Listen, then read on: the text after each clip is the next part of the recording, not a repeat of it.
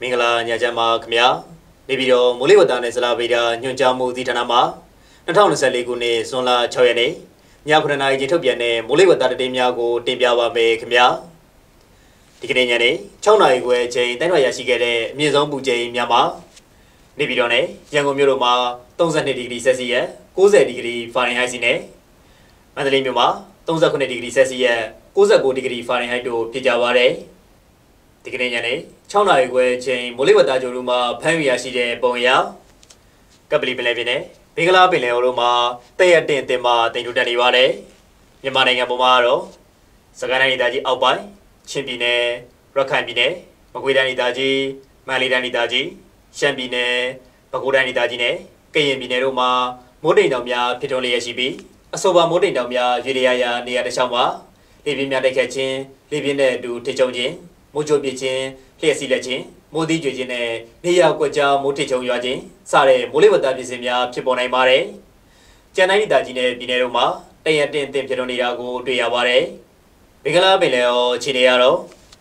ကပလီပင်လယ်ပြင်နဲ့ဘေကလာပင်လယ်ရောတို့မှာမုတ်တုံလေးအာတင်တင်မှာအကောင်နေပါတယ်။မြန်မာပင်လယ်ပြင်မှာမြန်မာကမ်းလွန်တစ်လျှောက်နဲ့ကမ်းလွန်ပင်လယ်ပြင်တို့မှာတခါတရံမိုးသက်လေပြင်းများကြာရောက်ပြီးလှိုင်းတင်တင်မှာလိုင်းကြည့်နိုင်ပါတယ်။ မိုးသက်လေပြင်းကြစဉ်ရေပြင်းမြေပြင်းလေးဟာတနအီကိုမိုင်30မှ35မိုင်အထိတိုက်ခတ်နိုင်ပါတယ်။လှိုင်းမြမှာ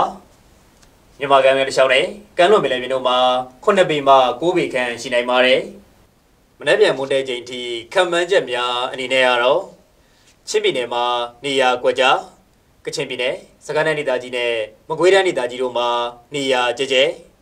နေပြီးတော့မန္တလေးတိုင်းဒေသကြီးရှမ်းပြည်နယ်မြောက်ပိုင်း အရှိပိုင်းနဲ့ကယားပြည်နယ်တို့မှာနေရာစိတ်စိတ်နဲ့ရခိုင်ပြည်နယ်ရှမ်းပြည်နယ်တောင်ပိုင်းပဲခူးတိုင်းဒေသကြီးအေရဝတီတိုင်းဒေသကြီးရန်ကုန်တိုင်းဒေသကြီးကရင်ပြည်နယ်မွန်ပြည်နယ်နဲ့တနင်္သာရီတိုင်းဒေသကြီးတို့မှာနေရာနှံ့ပြားမိုးတိတ်ချုံရွာပြီးရခိုင်ပြည်နယ်နဲ့မွန်ပြည်နယ်တို့မှာဒေသလိုက်နဲ့မန္တလေးတိုင်းဒေသကြီးရှမ်းပြည်နယ်တောင်ပိုင်းအေရဝတီတိုင်းဒေသကြီးနဲ့ကရင်ပြည်နယ်တို့မှာနေရာကွက်ပြီးမိုးကြီးနိုင်ပါတယ်နေပြည်တော်နဲ့နီတူဝိုင်မနက်ဖြန်အတွက် မိုးလေဝသအခြေအနေခန့်မှန်းချက်မှာ